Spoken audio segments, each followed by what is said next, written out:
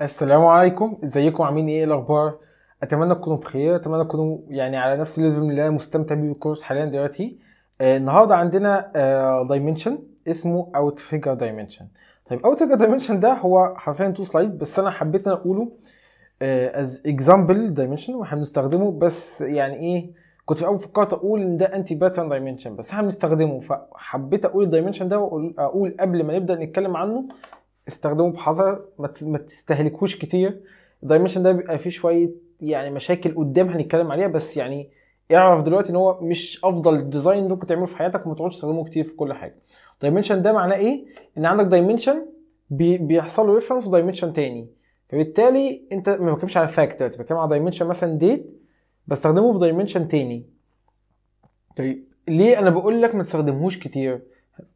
هنعرف قدام بس دلوقتي اللي بنقوله إن أنت قبل ال dimension ده لما تيجي تستخدمه استخدمه بحرص يعني أنا حتى بقول أهو آه لازم تستخدمه carefully.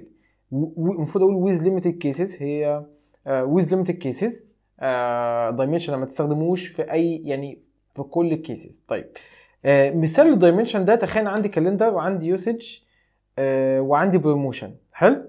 ال promotion ID هنا عندي هنا ال usage ده ال fact بتاعي. فعندي هنا calendar as as as dimension وعندي promotion as dimension بستخدم ال calendar هنا as dimension في ال dimension الثاني في في ال promotion اللي هو start date وال end date وبستخدم ال promotion وال calendar as dimension في ال usage case طيب هنا في الآخر في الأول وفي الآخر أنا ليه طالما قلنا ال dimension ده فهو ليه أهمية؟ أكيد مش بنقوله عشان نهلك يعني نستهلك فيديوهات يعني. لا يعني بنقوله عشان هو مهم وبيستخدم وهتلاقيه في case كتير. بس اللي بقوله إن أنت مش كل حاجة تبدأ ت reference dimension جوه dimension حتة dimension جوه dimension دي لما بنيجي نعمل lookup وبنيجي نعمل reporting في ال data warehouse بيبقى أحيانا فيها مشاكل شوية. وحتة ال reference بينهم وال look وال linking بينهم مش بتبقى أفضل شكل طيب اللي عايزين نقول في الحتة دي إن أنت تشوف ال pattern ده لما تشوفه تبقى عارف إن ده outrigger dimension وتقول وتبقى عارف إن أنت مش المفروض تستخدمه في كل حاجة وتعرف أنت تستخدمه بحرص تبقى عارف إن هو موجود وليه استخدام. مشاكله في ال في ال reporting دي هنشرح لما نيجي نعمل reporting هوريكم المشاكل بتاعته. بس على الجانب الحالي أو الوضع الحالي من ال course إحنا بس بنشرح ال dimension ده إيه هو وشكله عامل إزاي.